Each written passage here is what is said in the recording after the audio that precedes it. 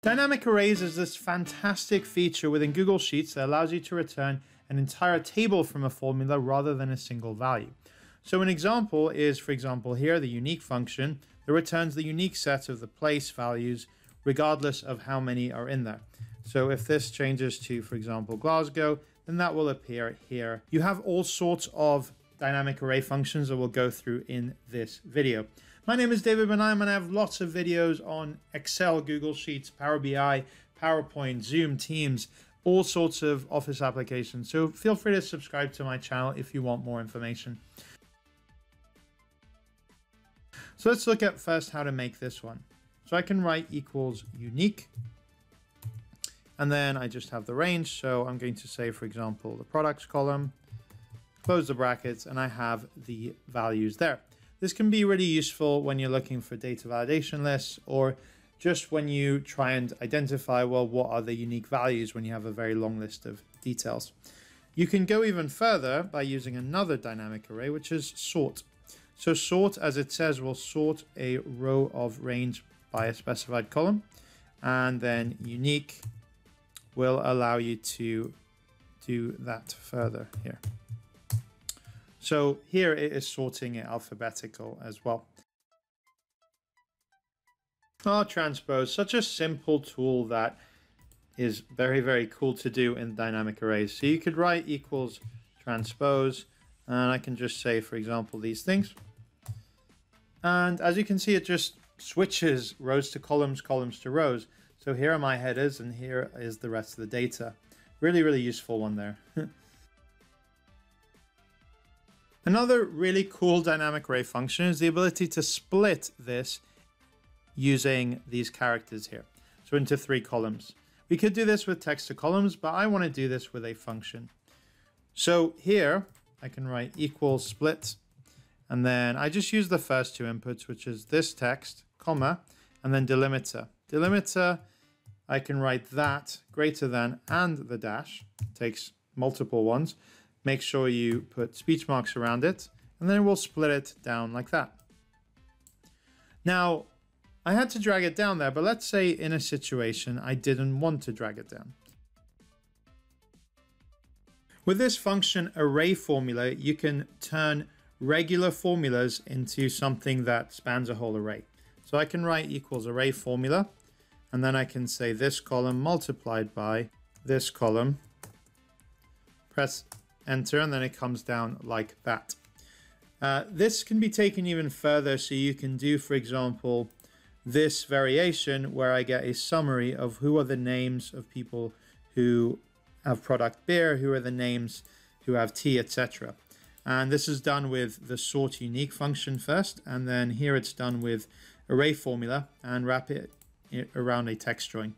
Uh, I have a tutorial on how to do this with Excel, only the Google Sheets equivalent needs this array formula wrapped around it. So I'll link to that video in the description below. I really love the ability to stack tables on top of each other. So here, for example, I can say equals and then you use the special notation like this. And then you use a semicolon and use the second one. Don't include the headers in the second one. Press enter and you get it showing like that. Now, the only limitation with this is that it doesn't grow because I started and ended where the tables are. Whereas this other version allows you to be more flexible, where you can have a much larger range, but you nest it inside the filter function and you say, well, include only the ones that are not equal to blank so that it doesn't show up like that. I'll cover the filter function in more detail later on. Let's say that I want this to flow through to another spreadsheet. Let me take this and copy it and go over here and I'm going to write equals import range. Spreadsheet URL, wrap that in speech marks. And then the sheet was called link put an exclamation point around it and then say A1 to C5. Speech marks around the second input, enter, and then it tells me I need to allow access. But once I click there, it will show me the data. You can also have an array function which returns historic stock prices or exchange rates like this. So I'll write it for you. You write equals Google Finance. And then the ticker, I've written it here already, comma, attributes. I'm going to write all here. And then start date, always with speech marks. First of the first, say 2020. And then end date, I'm going to write today. Open close brackets, and then close my brackets. The interval will be daily. And then when it loads, it gives you that. Look at that. Open, high, low, close volume. This one started in 2010, so it's populated almost 4,000 rows of data. I'll link to another video where I talk more about this function. I like to combine Google Finance with another one called Sparkline, but let me first show you what it does. So you can just select that data. It does a kind of nice little line chart there. There is a second input, but that is for more advanced uses. But you can also embed this inside it. So here's the formula. So if I copy that and I say equals sparkline and then paste, it will put in the entire trend inside the sparkline, kind of like that.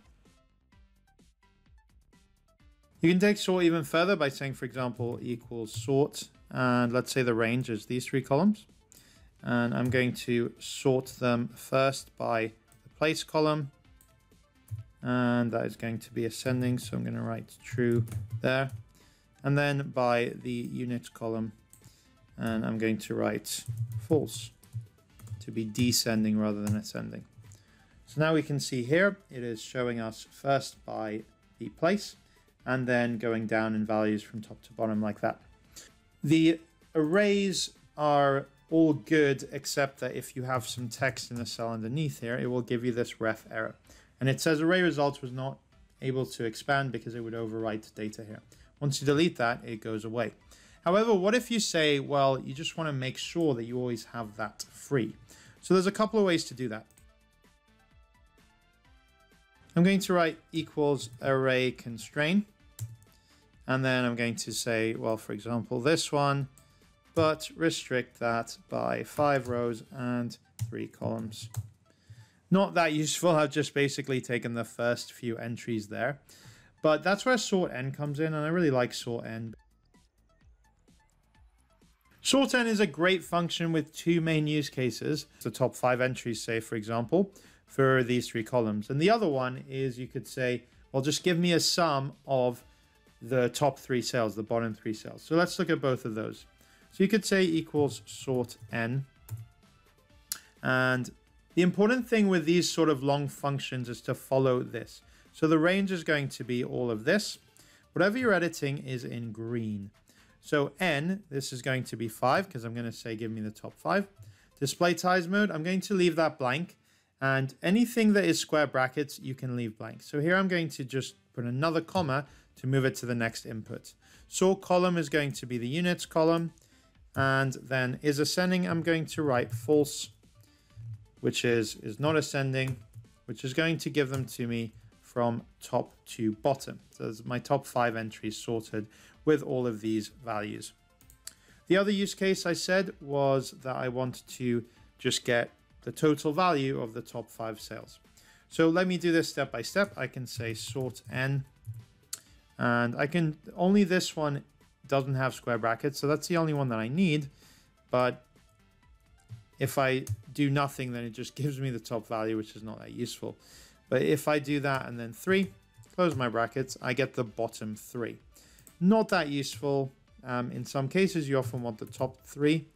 So you select this, comma, press 3, comma, and then you have to go to sort column and use this again. I wish the default was top instead of bottom, but unfortunately it is bottom, so you have to say false like that, and then you get to the top three columns. To sum these up, all you have to do is put a sum around it. So wrap it inside a sum function, and then you get the total value of your top or your bottom values for sales there. As the name implies, these are dynamic, which means that if I get a higher entry, like for example, this becomes 9,000, then 9000 does contribute here and it does change the order here.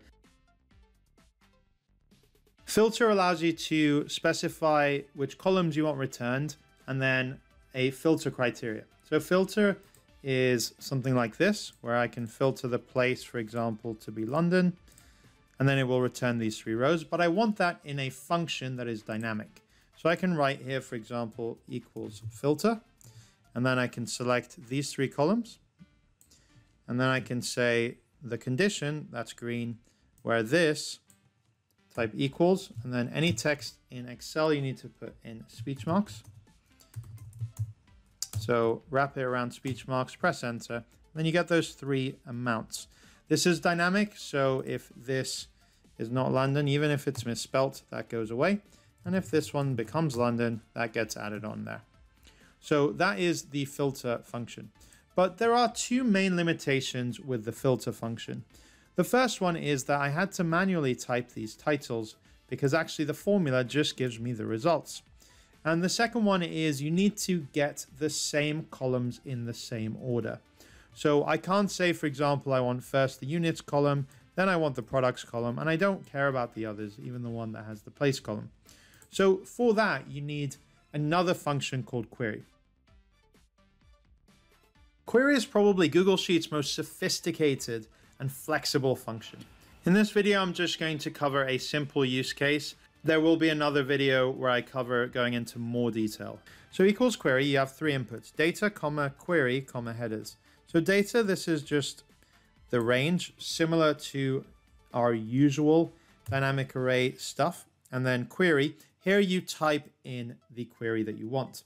You start and end with speech marks, and you write essentially a sentence. So you start with select almost always. And select means that you then say which columns that you want. In this case, I'm going to say select E, comma B, and that is going to return first column E, which is units, then column B, which is product. The last input is optional. I'm going to leave it blank as I normally do. And that returns a couple of things better than the filter function. The first one is that it does return the column headers. And the second one is you can return things in whichever order that you want.